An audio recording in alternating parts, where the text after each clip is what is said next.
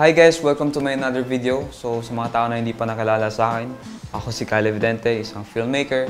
And sa mga tao rin na hindi pa nakasubscribe, please subscribe to my channel.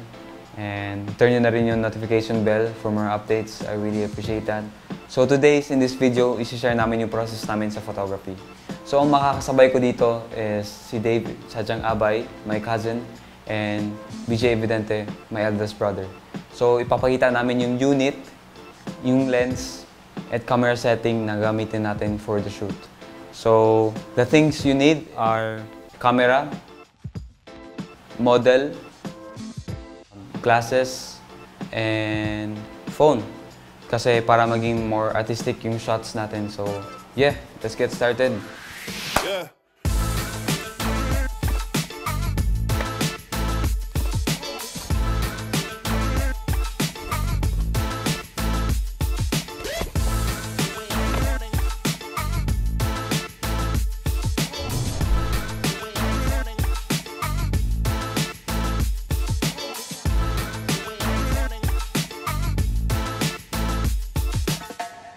So, yung first location natin is dito sa Magsaysay Park and si Dave yung maging model natin. And ang camera gear na gamitin natin is Sony a7 Mark III. Camera setting, ISO 250. Shutter speed is 640 para walang motion blur yung photo. And aperture na gagamitin natin is 4.0 para crispy pa rin yung photo. So, gawin natin.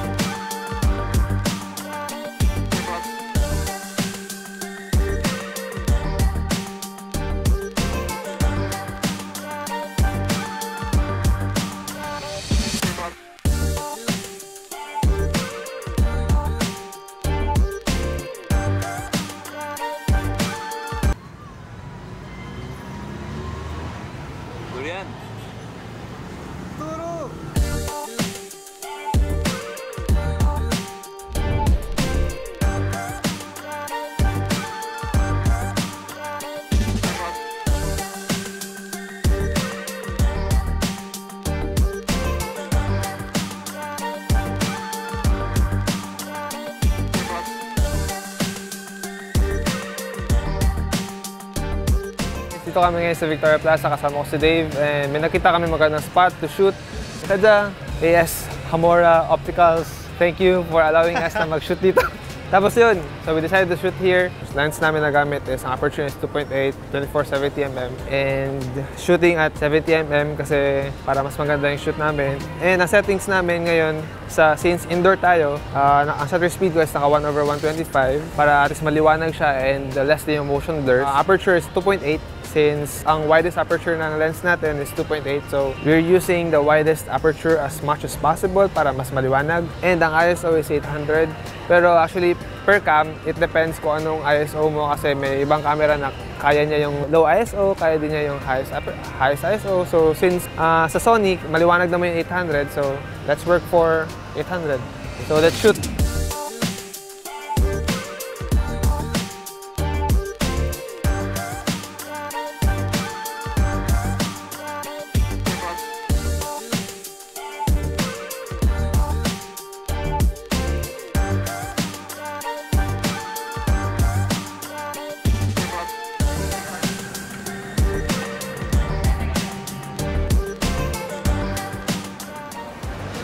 kanina pinagalitan tayo kami ng guard. Daw yung ano to, dito sa mall. So wala, wala kaming choice. May next na punta naman kami sa next na place.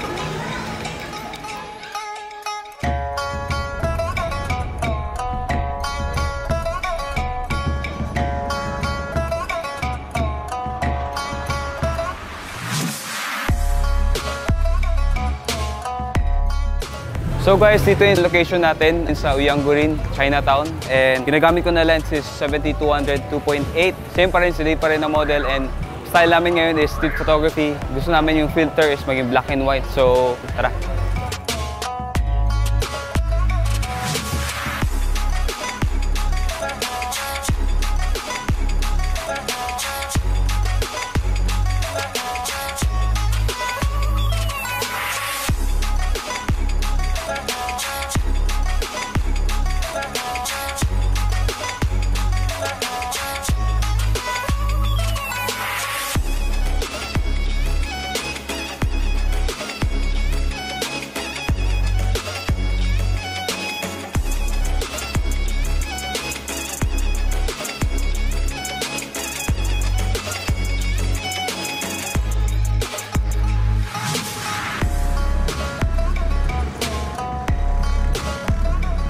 Andito tayo ngayon sa Damosa, here sa Surf and Turf, and another perfect spot for night photography dahil sa mga neon lights nila and everything. For the camera settings, ang settings ko for shutter speed is 125 para andyan pa rin yung maliwanag na ano and less motion blur. And sa aperture natin, 3.2 para medyo crispy siya. And sa ISO naman, 1600. Sa camera ko, maliwanag na siya.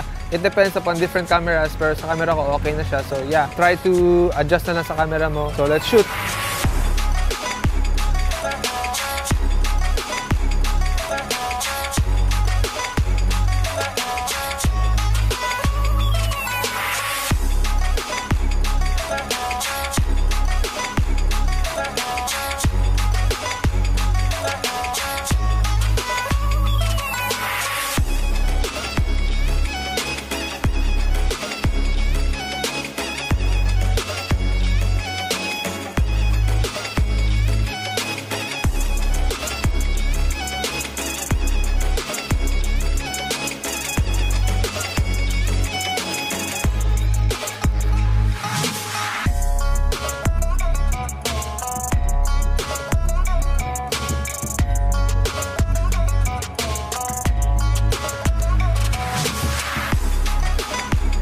And guys, nandito tayo ngayon sa last location natin sa Blah Blah Blah Kitchen and Bar sa may Obrero. And sa ngayon, ako naman yung maging model and sa pa rin ang photographer namin.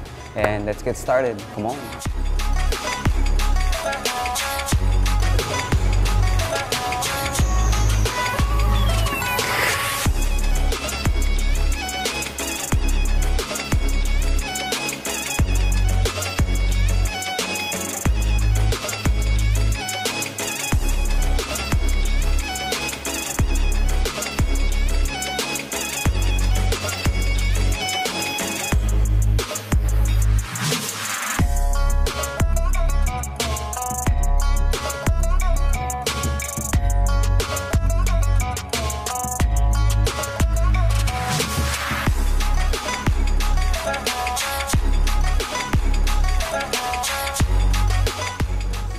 And guys, dito na magtatapos yung video namin. And very thankful ako kasi sinabayan ako ni Kuya at saka ni Dave. And don't forget to follow them sa Instagram, right here. Agent Violet. Right here. Agent Violet here. Yeah. Tsaka pag may mga questions about sa photography side, uh, ask nyo lang si Kuya. And then, yeah, I hope na na-inspire kayo sa content na to, na-encourage kayo to do and be more creative sa inyong talents, sa skills, and i-share nyo din sa mga tao na uh, young generations and mga nagsisimula pa lang. Goal talaga namin talaga is, uh, is To inspire everyone. uh, inspire everyone. Masabi ko lang sa mga aspiring photographers and videographers, don't be intimidated sa location na kung saan, kung ano yung available location nyo. So just shoot and just be creative. It doesn't matter kung saan ka naka-base, saan ka na-place, kung sa gilid may mga ano lang dyan, something-something. So just uh, work with what you have. Nice, di ba guys? Nice, di ba? Na-inspired ba kayo? Okay. Uh, huwag kayo ma-discourage kung like wala kayong equipment. O pwede kayo mag-start sa mga phones nyo, sa mga, mga simpleng Yeah. bagay. Work work with what you have. Be creative lang. Kayo na bahala kung paano yun. Tapos, try nyo kumuha. Kaya, kaya namin actually ginawa tong video na to is para sa inyo rin. Para makakuha kayo ng mga ideas sa sa mga future nyo na creative. Gusto nyo mag-photography or videography. At least makuha kayo sa video na to. And I hope marami kayo. Yeah, marami kayo natutunan. And for more questions, just comment down below. Comment down below guys, ano yung mga recommend nyo sa next na video namin. Don't forget to like and share this video. And also, subscribe. Ayun guys, thank you. Peace.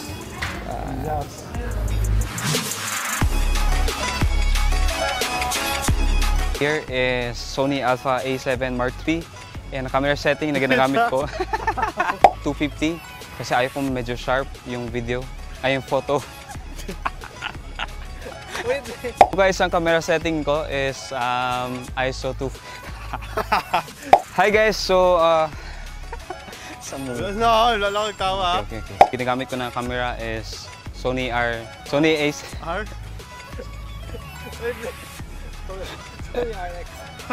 Go. Hindi ako matang, hindi ako puto tingnan dyan. Akit ka dyan. Sa Magsaysay Park, and ginagamit ko na gear is Sony